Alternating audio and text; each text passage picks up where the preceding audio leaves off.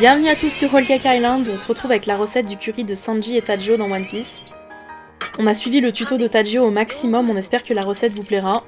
Elle nous a demandé énormément de travail, donc on compte sur vous pour la liker, nous laisser un commentaire et vous abonner. Et on va vous demander un petit service s'il vous plaît, c'est super super important. Regardez bien la vidéo en entier sans la passer pour qu'elle soit référencée, histoire qu'elle ne sombre pas dans les abysses de YouTube et de son algorithme. On compte sur vous, elle est assez longue et on a vraiment tout fait de A à Z comme Tajio, et on vous explique tout en détail.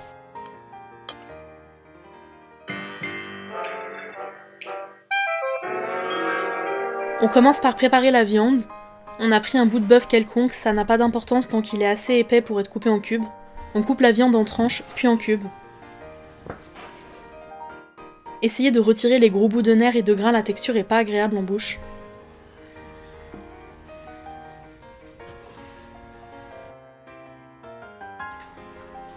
On place la viande dans un saladier ou un sac de congélation et on ajoute le poivre, le curcuma, le gingembre, l'ail et le yaourt grec.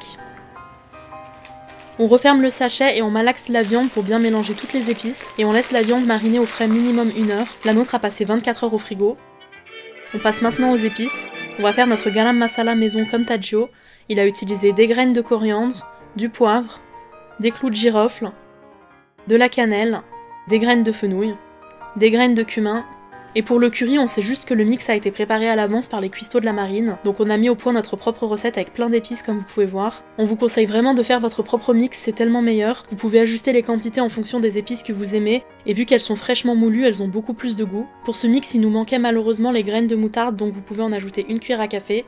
Sinon, on a utilisé des graines de fenouil, du poivre, des gousses de cardamome, des graines de cumin, de la cannelle, une feuille de laurier, des graines de coriandre, de l'anis étoilé, le zeste d'une orange séchée, du gingembre, du paprika, du grec, du piment, du curcuma et de la muscade.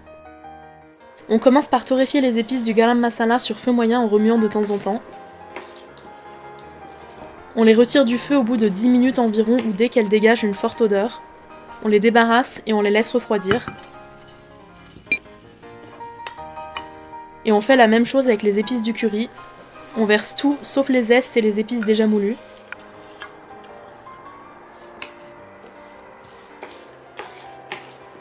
Au bout de 10 minutes, on retire du feu.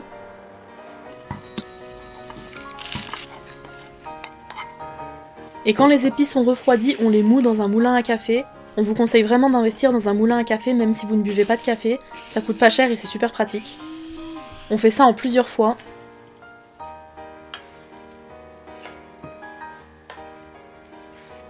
Et on laisse la cannelle pour la fin parce qu'elle est plus compliquée à moudre.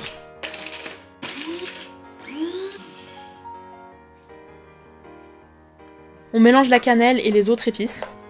Et voilà, le garam masala maison de Tajio est prêt. On passe au curry. On commence par moudre la cannelle, l'anis étoilé et le laurier.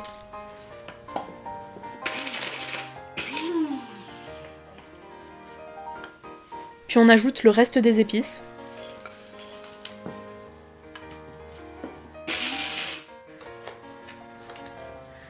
On ajoute maintenant les épices déjà moulues. Si vous ne supportez pas le piment, mettez-en moins ou utilisez du piment doux. Et on a oublié de vous dire, mais pour faire sécher vos zestes, étalez-les à plat et laissez-les sécher la nuit entière. Ou sinon, vous pouvez aussi les laisser au four à 100 degrés Celsius une dizaine de minutes. C'est ce qu'on a fait. On mélange et c'est prêt.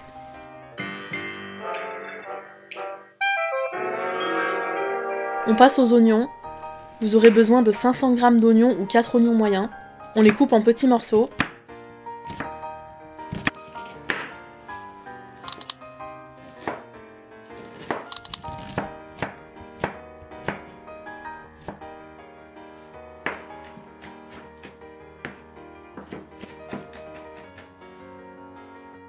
Dans une poêle sur feu vif, on verse 5 cuillères à soupe d'huile de cuisson.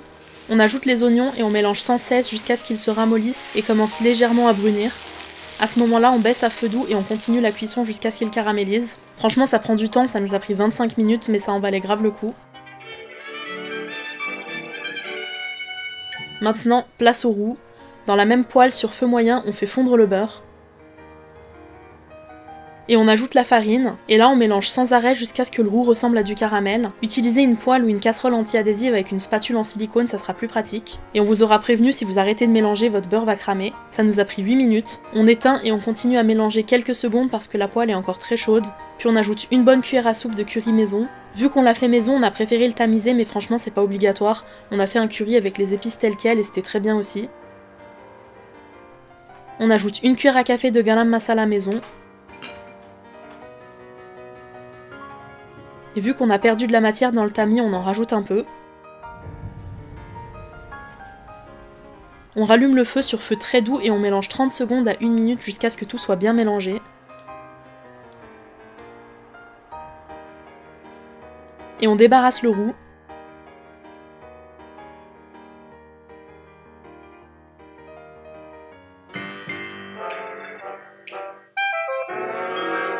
On passe à la découpe des légumes. Pour éplucher les tomates, on coupe un X à l'arrière des tomates. Et on retire les pédoncules. Puis on plonge les tomates 30 secondes à 1 minute dans de l'eau bouillante ou jusqu'à ce que la peau commence à se décoller. Pour stopper la cuisson, on transvase les tomates dans de l'eau très froide avec des glaçons.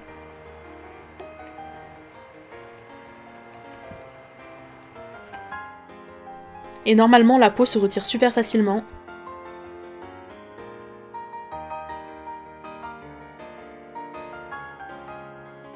On coupe en deux les tomates. Et on les vide avec une petite cuillère. Puis on les coupera en petits bouts, on n'a pas filmé cette partie.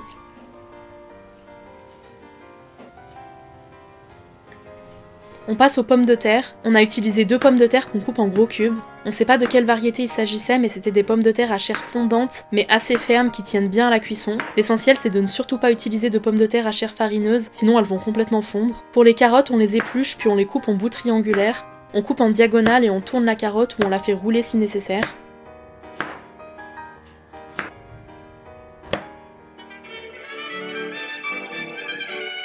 On passe à la cuisson. Dans un faitout sur feu moyen, on met de l'huile.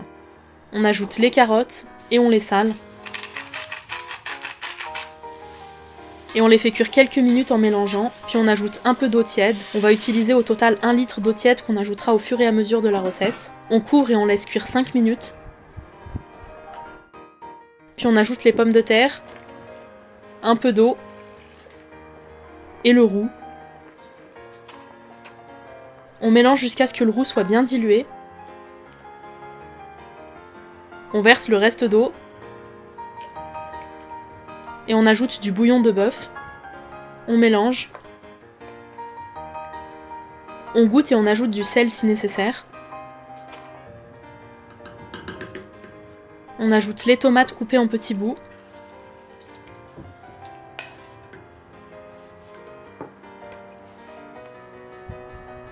Et l'oignon.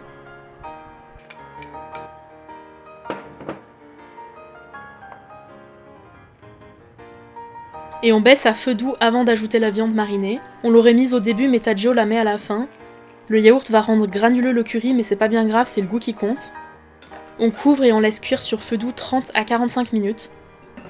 Mélangez de temps en temps et vérifiez que vos pommes de terre ne commencent pas à se désintégrer. Plus la viande cuit longtemps et à feu doux et plus elle sera tendre. On l'a goûtée au départ et elle était toute dure mais elle s'est attendrie en fin de cuisson. On vérifie la cuisson des légumes. Et on ajoute l'ingrédient secret qui est de la pomme râpée. On a utilisé une pomme Fuji mais vous pouvez utiliser n'importe quelle pomme qui est sucrée et acidulée. Goûtez et si vous sentez que ça suffit, arrêtez-vous là, sinon râpez aussi l'autre moitié. Et on cuit pour 15 nouvelles minutes, toujours sur feu doux.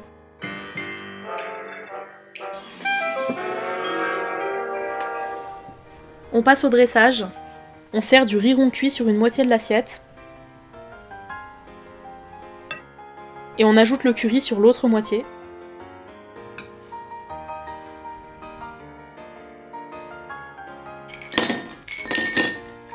Et voilà, le curry de Tajio et Sanji est prêt. Il était incroyablement bon, on vous ment pas, on est super contente du rendu. Limite, on n'arrive plus à se satisfaire des cubes japonais du commerce. On espère que vous avez aussi kiffé la recette. Si c'est le cas, pensez à bien la liker et à nous laisser un commentaire. Et partagez-la avec tous vos potes qui aiment One Piece. On se dit à plus pour une nouvelle vidéo. Bye